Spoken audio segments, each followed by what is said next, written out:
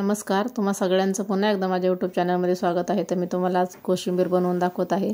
चला तर आता हे लागणारं साहित्य बघा हे पाव किलो दही घेतलेलं आहे. हे मी एक बारीक कांदा चिरून घेतलेला आहे. एक टमाटा बारीक चिरून घेतलेला आहे. कोथिंबीर चांगली स्वच्छ धुवून अशी बारीक चिरून घेतलेली आहे. दोन काकड्या अशा बारीक चिरून घेतलेल्या आहेत.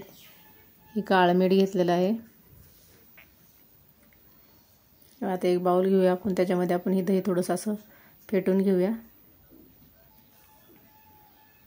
म्हणजे आपल्या दह्यातल्या इंटोळ्या थोड्याशा विरगळतील. चला आता हे फेटून झालेलं आहे त्याच्यात कापलेल्या भाज्या आपण टाकून घेऊया.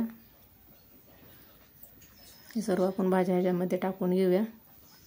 एकदम साधी सोपी रेसिपी आहे कमी वेळेत होती आणि ही शरीरासाठी कोशिंबीर आपल्या चांगली पौष्टिक असते.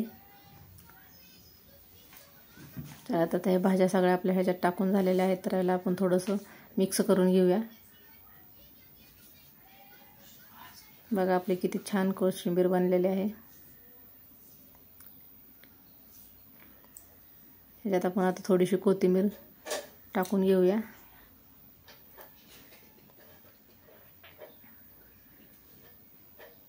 थोडंसं काळं मीठ घालून घेऊया.